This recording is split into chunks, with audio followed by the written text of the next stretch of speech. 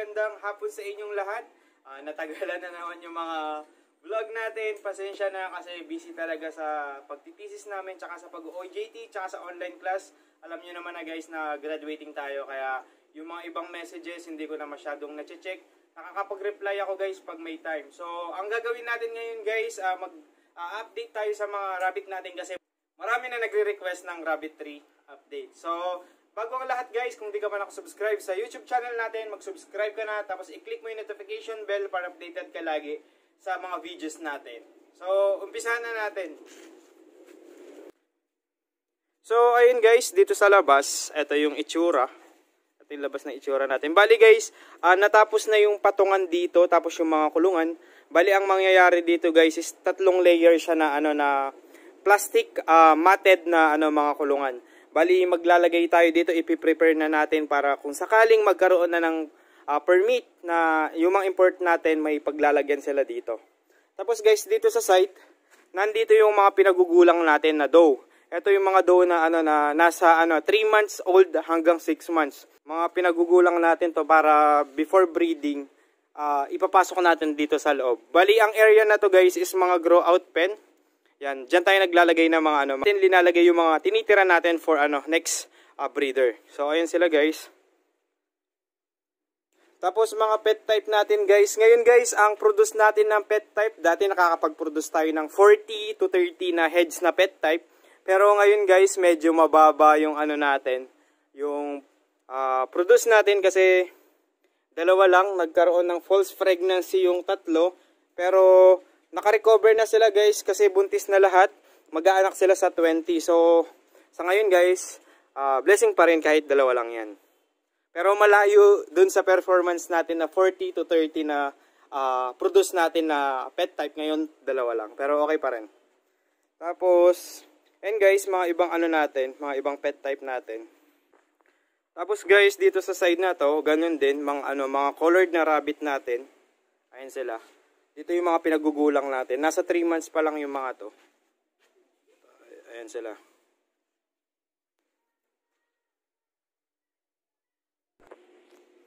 Tapos guys, may ito yung mga mini rex natin. Hinaan ko na lang yung boses ko. Tapos ito yung update ng mga mini rex natin guys. Malalaki na. Tinanggal ko na yung nest box nila. So, ayan sila. Ganyan na sila kalalaki.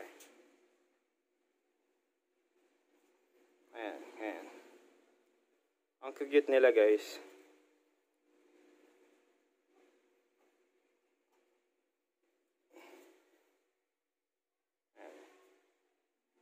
Kahit namatay yung buck natin na pair nito guys, uh, ano na yan, uh, sulit na tapos uh, nakabawi na tayo kasi uh, nagbuhay siya ng anim na kids.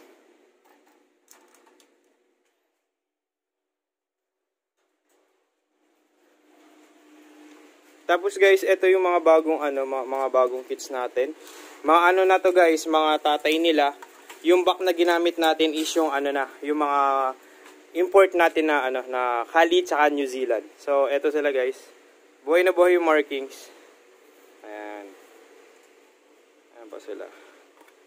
Mainit guys, kaya stress na stress yung mga ano natin, mga rabbit natin.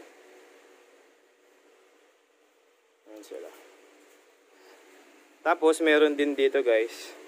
Ito, madami to guys.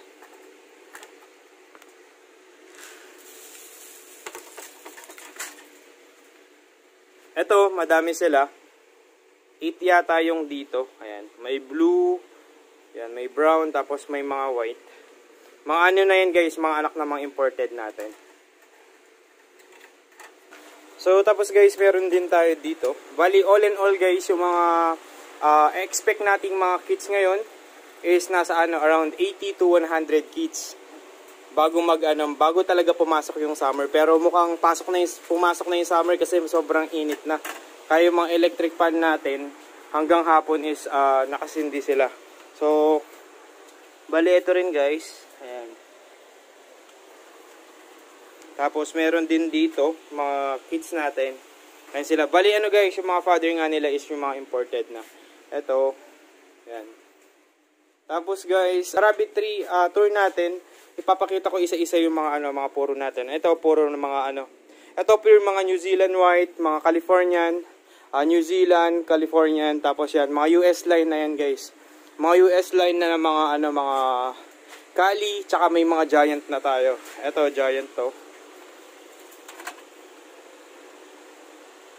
2 months old, tapos ito rin, meron din tayong giant dito. Tapos, ito yung mga Californian din. Californian. Bali guys, ano, madami na tayong, ano, uh, madami na tayong pure breed. So, ayan. Mga US line yung mga to. Tapos dito rin may US line tayo na ano na Californian. Pasin niyo kung ano, kung uh, bakit meron yung ano, merong plastic yung tas ng kulungan natin dito sa baba. Kasi guys, ano, uh, paparepair ko to. Dapat uh, medyo umat uh, magmo-move siya dito para yung ihi nila is hindi uh, bumababa dito sa sa ditong area. So ayun sila. Ito guys. Tambok na tambok siya.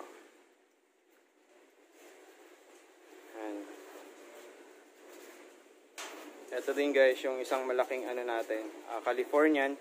Tapos guys, yung pinost ko kagabi, yung ano yung question and answer na gagawin natin na vlog, bali isusunod ko na lang yun. Aayusin ko pa yung mga tanong para organize talaga siya. Tapos guys, uh, papakita ko sa inyo yung mga patungan na ilalagay dito.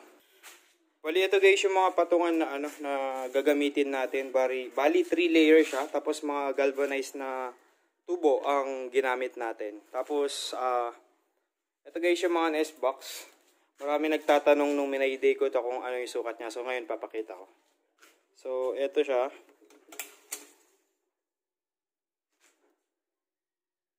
Ayan yung ano niya. Lagpas siya ng ano ng 1 feet. Tapos yung ano niya. Yung width niya. Ayan. Ayan. So gawa siya sa ano sa plywood. Tapos lalagyan namin siya ng framing. Bali ang gagamitin namin framing yung mga aluminum na ganito para hindi siya ano mangat-ngat nung ano nung rabbit. Kung ganito kasi guys ang ilalagay lang natin, panigurado, hindi magtatagal yan, ngangat-ngatin lang. Tapos uh, dito sa floor uh, dito sa ano sa magiging flooring niya guys, pinag-iisipan ko muna kung ano yung ilalagay ko. Pero siguro kahit walang ano, walang flooring itong mismong nest box na to. Yan. Pupunuin ko na lang ng ano ng ng dayami or nesting material para ano para mas madaling linisin. Tapos guys, may gaga, may paparating tayo na vlog niyan kung ano yung mga magagandang nesting material ng mga rabbit kasi maraming pwedeng gamitin uh, pel, uh, dayami, tsaka kusot. Uh, ipapakita ko sa inyo guys kung paano yung uh, tamang paggamit ng tatlong uh, nesting material na yon. Bali, naka-line up na rin siya sa mga vlog natin. So, ayun yung mga nesting uh, nest box natin. Tapos, ito yung mga ano patungan natin. Bali guys, kaya nag uh, upgrade ako ng ganito pang pure breed kasi hindi hindi uubra yung ano yung mga nest, uh, nesting box natin or nesting tray natin na plastic. Tapos do sa mga giant natin hindi na siya talaga kakasya. So nag uh, upgrade tayo ng mga nest box natin. So ayun sila guys. Bali dadagdagan pa namin 'yan. Tapos gumawa na rin kami ng ano ng grow out cage. Bali ang sukat nito guys is uh, 1 feet yung ano yung lapad niya tapos yung haba, haba niya is 18 inches. Yung kulungan na to guys gagamitin ko sa mga ano uh, pagmamaturein natin na ano gagawing breeder box tsaka mga breeder doe. So diyan muna sila hanggang 6 months. Siguro okay na yung ganitong sukat na ano na kulungan. Bali tatlo yan, tatlong layer yan meron doon. So tatlo. Tapos ito yung mga binebenta pa naming mga cages na double cage 1.6 uh, set na siya kayo dito sa area, pwede kayo mag-comment sa baba para maka kung interesado kayo sa mga kulungan na yan.